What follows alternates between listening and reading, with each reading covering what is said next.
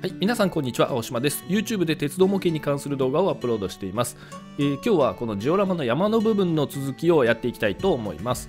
えー先日の動画で、えー作業の習慣化、毎日ちょっとずつでもいいので作業を進めていきましょうと言いながら、言った本人がやっていないというのは良くないと思いましたので、僕もちょっとずつ作業を再開しています。まあちなみにこれ、今僕カメラに向かって喋っていますが、えー実はこの声が取れていませんでした。まあ、どうせいつもこんな感じであのアフレコで動画撮っているんでカメラの音声が撮れていなくても特別問題はないんですがカメラの前で喋っていることを参考に原稿を書いてそれを読み上げるという感じでアフレコしているのでカメラの音が撮れていないというのはそれはそれで、えーちょっと問題があります。なので今当時どんなことを喋りながらジオラマを作っていたのか想像しながら思い出しながら喋っています。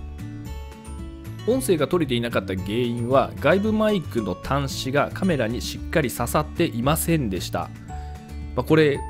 いつもだったらちゃんと録音されているかどうかチェックするんですけど今回はチェックするのを忘れていたりまた使うマイクがいつものと違ってたりで様々な要因が絡まって、えー録音取れていないことに気がつきました。先日島風の中で録音ボタンがきちっと押せてなかったっていうのもありましたけれども、まあ、あの場合はたまたままだ時間に余裕があったのでその後撮り直すことができましたがこのような作業をしながら喋っている様子を動画に撮っていると作業が済んでしまうので後から撮り直しをするということができません、まあなので、えー本来は必ず録音できているかどうかっていうのをチェックするんですね。でミラーレスカメラの場合僕が使っているのはソニーの α6400 ですが外部マイクをつなぐと録音レベルの表示が出るのでそれがちゃんと動いているかどうかを確認すれば録音されているかどうかのチェックっていうのは容易にできるんですけど今回はそれをちゃんと見ていませんでした。なぜ見ていなかったかっていうと実はここ最近ずっと iPhone で録画をしていたからです。iPhone は外部マイクをつないでも録音レベルが出ないんですが、まあ、大体録音できているので、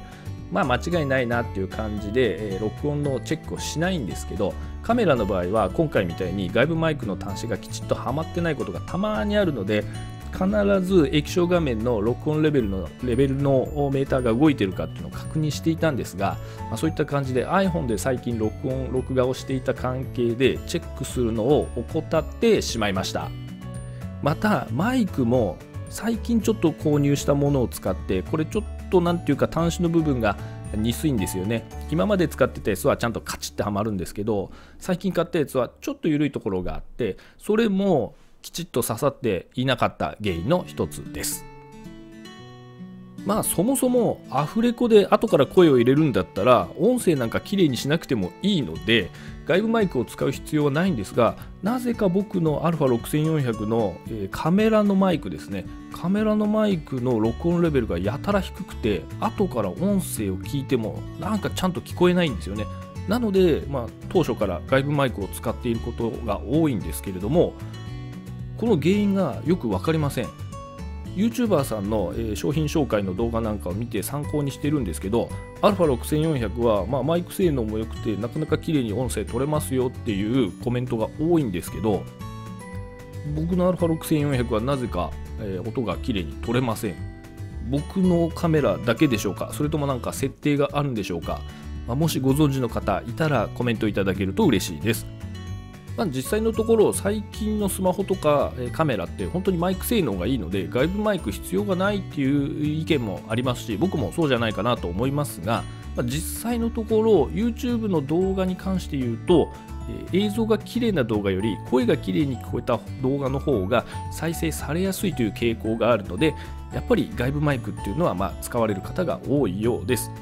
まあ、ですので僕みたいに、えーあれもこれも今日はこのマイク使おうかな今日はこのカメラ使おうかなといくつもいくつも試すんじゃなくてもうどれか一つ iPhone なら iPhone マイクはこれって一つ決めて、えーなるべくオペレーションの数を少なくして撮影開始することが失敗を少なくするコツじゃないかなというふうに今回感じました。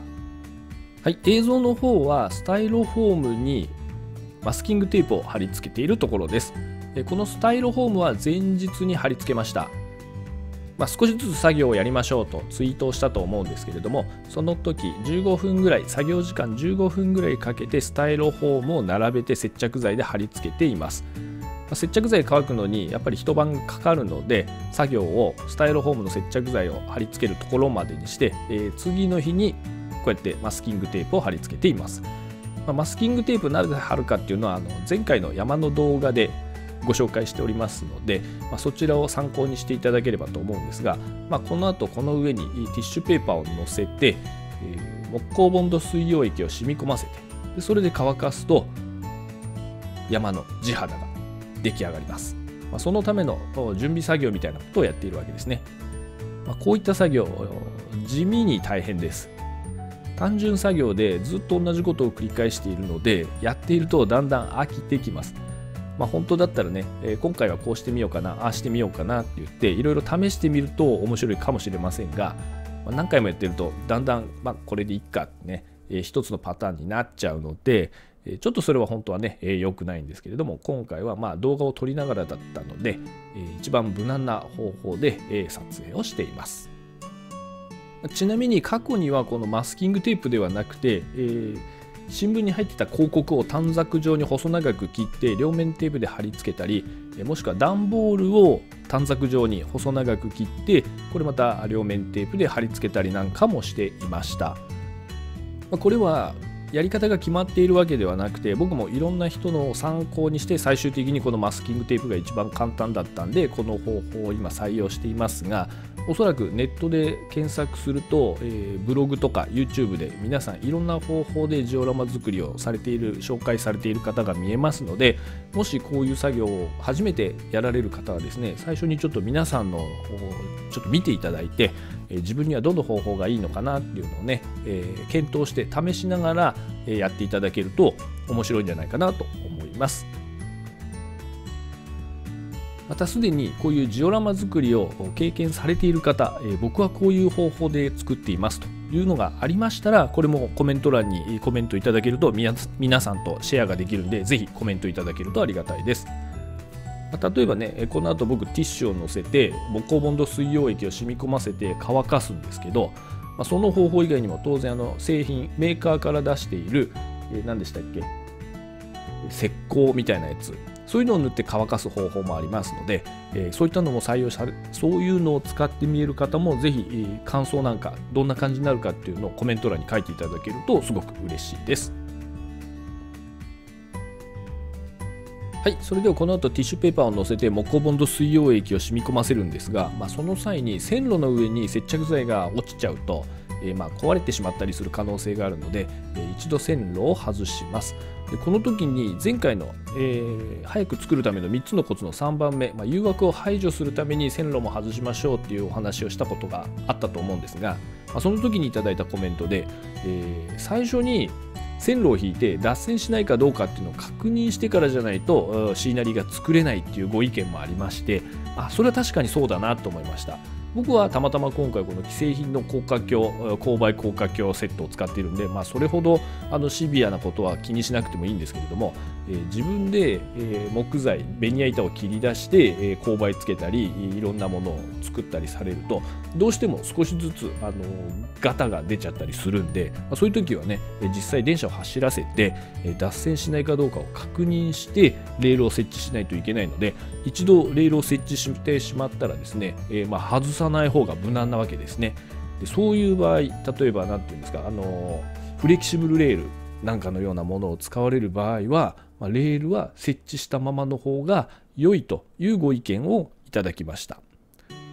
まあ、その場合でもね、レール敷きっぱなしだとやっぱり遊んじゃうんですよねっていうことも言ってみえたんで、やはり誘惑の排除、遊ぶということはね、気をつけた方がいいのかもしれません。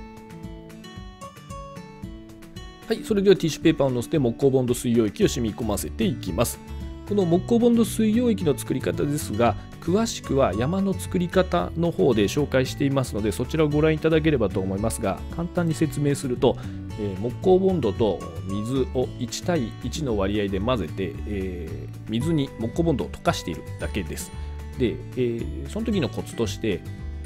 食器用洗剤を1、2滴垂らしておくと、木工ボンドがダマにならずに溶けやすくなります。まあ、ちょっと詳しい、なんでそうなるのかはよく分かりませんが、おそらく海面活性剤の、えー、影響だと思います。この木工ボンド水溶液、まあ、この山の地肌を作る時に使うんですけれどもそれ以外にも使い道があって、えー、僕が以前使ってた時は、えー、バラストバラストを固める時もこの木工ボンド水溶液を使ってました、えー、バラストに染み込みやすくするために海面活性剤を入れるって言ってた先輩がいたような気がするのでひょっとしたら、まあ、このバラストに染み込ませないんだったら食器用洗剤はいらないかもしれません。注意することとしてそのバラストに染み込ませる時ですけれどもすごい仮面活性剤の影響で染み込みやすくて作業しやすいんですがポイントの駆動部分にも染み込んでいってしまう場合があるんで、えー、線路の周りのバラストにこのバラストの固着にこの木工ボンド水溶液を使う場合はポイントの周りは避けた方がいいです、まあ、ちょっとしたこれ豆知識です。はい、この作業に使うティッシュペーパーですけど僕はたまたまこの部屋にネピアがあったのでネピアを使っていますが別に何でも大丈夫です。駅前で無料で配っているティッシュ。今そういう人っているんですかね、えー、まあ、そういう無料でもらえるティッシュがたくさんある人はそういうのを使っていただければと思います。あとさっきもちょっと言いましたけれども、えー、メーカーから出てる加藤だと、えー、プラスタークロスでしたっけ？トミックスだと、えシーナリープラスターまだ売ってるのかな？そういうのを使ってこういう地面の地肌の表現をしてる方もし見えましたらそれ使うとどんな感じになるのかっていうのもコメント欄でいただけると他の視聴者さんと情報がシェアできるんでぜひコメントいただければと思います。僕も昔ねちょっとだけ加藤のプラスタークロスを使ってどんな感じになるのかっていう動画を出したことがあるんですがあの時はねちょっと新聞紙丸めて上にかぶせただけなので簡易的な本当に山っていうよりかは使い方の紹介をしただけなので実際にこういうジオラマレイアウトに使ってみるとどんな感じになるのかっていうのをやったことがある人、もし見えましたらコメントください。はい、そんな感じでもうこれひたすら単純作業ですので、ちょっとここの場面はね、早送りでご覧いただければというふうに思っております。